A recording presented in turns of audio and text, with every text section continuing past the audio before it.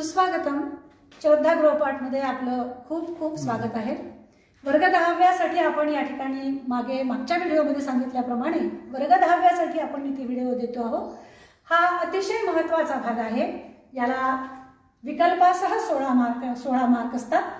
आणि जर ऑप्शन ठेवले तर ते वीस मार्काला प्रश्न दिलेले असतात. सोळा मार्क मात्र आपल्याला सोडवावेच लागतात सोळा मार्काचं. तर हा वर्ग दहाव्याचा क्वाड्रॅटिक इक्वेशन दुसऱ्या नंबरचं प्रकरण आपल्या टेक्स्टबुक प्रमाणे दिलेलं आहे.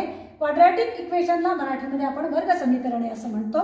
हे वर्ग समीकरण फॅक्टरायझेशन मेथडनी कसं सोडवायचं? अवयव पद्धतीने कसं सोडवायचं? त्याचे अवयव कसे काढायचे? आणि नंतर त्याची उकल काढायची. अशा पद्धतीने हे आपण सोडवत असतो.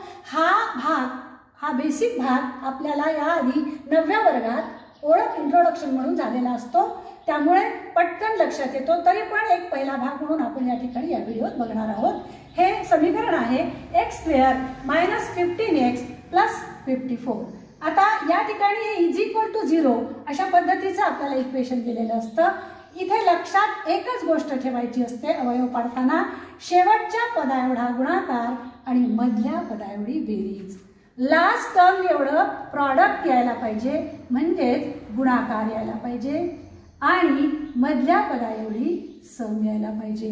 लक्षात ठेवा ही पंधराही आपल्याला सम आली पाहिजे. मायनस फिफ्टीन ही आपली सम आली पाहिजे. आणि प्रॉडक्ट आपलं आपलं आलं पाहिजे फिफ्टी फोर हे आपल्या लक्षात ठेवण्यासाठी हे सोडवताना काही आपल्याला लिहिण्याची गरज नसते. पण आता इथे आपल्याला समजलं पाहिजे म्हणून आपण दिलेलं आहोत. हे लक्षात घ्या हे प्रॉडक्टचा पी आहे. फिफ्टी फोर प्रॉडक्ट असं आहे हे. आणि हे पंधरा हे मायनस फिफ्टीन हे सम आहे.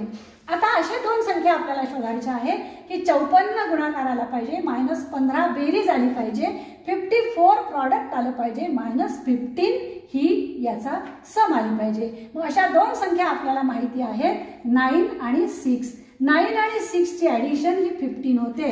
आणि दोन्ही जर आपण मायनस मायनस घेतले तर त्याचं प्रॉडक्ट म्हणजे मल्टिप्लिकेशन त्याचं पॉझिटिव्ह होतं. हे दोन नंबर एकदा कन्फर्म झाले की आता आपण हे सोडवायला सुरुवात करायची आहे. आता कसं घ्यायचं बघा? एक्स स्क्वेअर हे टर्म तसंच्या तसं. त्यानंतर आपण जो अवयव पाडला आहे जो घेतला आहे नंबर तो नाईन त्याच्या जोडीला हा एक्स नेहमी ठेवायचा. दुसरा टर्म आपण घेतो आहे मायनस सिक्स एक्स आणि लास्ट टर्म लिहायचं. इज इक्वल टू झिरो या पद्धतीने ही मांडणी सगळ्यात महत्वाची आहे. नाईन सिक्स झाकलेला आहे. दोन्ही निगेटिव्ह घेतलेले आहे म्हणून आपण त्याची तिथे मांडणी केलेली आहे. आता यामध्ये दोन दोनचे ग्रुप सॉल्व करत असताना पुढे जाण्यासाठी करायचे आहेत हे दोनचे गट झाल्यानंतर या दोघांमधला कॉमन एक्स बाजूला काढल्यावर इथे आत राहतात एक्स मायनस नाईन. कॉमन काढणे याचाच अर्थ भागणे असतो. आपण कॉमन काढलेले आहे. इथे आपण आता मायनसचा साईन काढतोय. आणि इथे मायनस सिक्स काढू शकतो. कारण सिक्सनी फिफ्टी फोरला आपण डिवाइड करू शकतो. मायनसनी करतो आहो. म्हणून इथे सुद्धा मायनस होणार. मायनस प्लस मायनस होणार डिवाइड करताना. आणि हे येणार nine is equal to zero हे लिहित राहायचं शेवटपर्यंत. आता दोन ब्रॅकेट इक्वल आले पाहिजे हा सगळ्यात निरीक्षणासाठी आपल्या समजण्यासाठी लक्षात ठेवायचा आहे.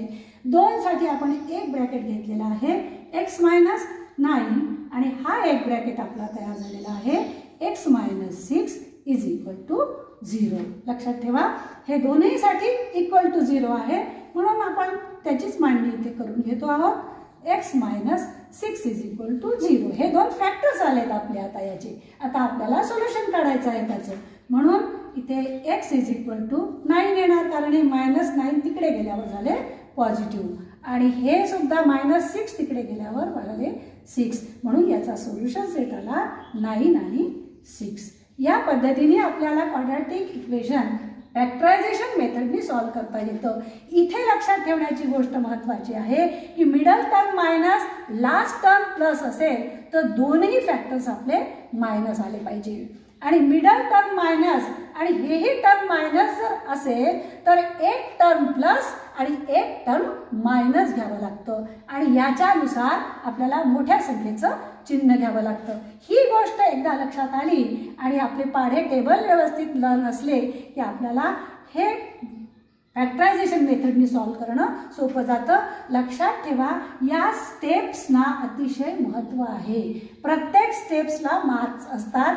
त्या पद्धतीने त्याचे मार्क दिलेले असतात. आणि म्हणून वर्ग समीकरणे हे प्रकरण आपल्या खूप महत्त्वाचं आहे. आपल्याला हे कसं वाटलं?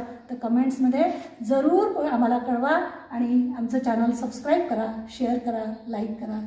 धन्यवाद.